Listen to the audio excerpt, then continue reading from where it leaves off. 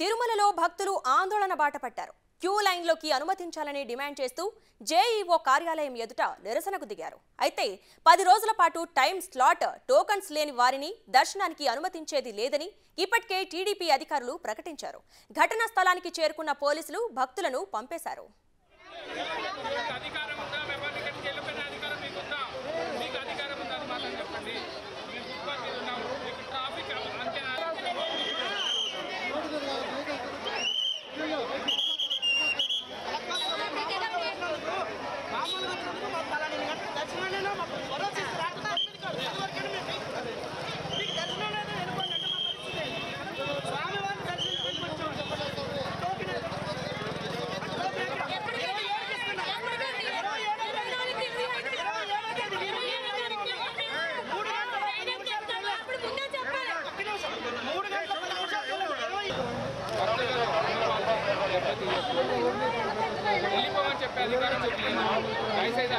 ఇవ్వాలని చదివి చట్టం కదంటే ప్రీతి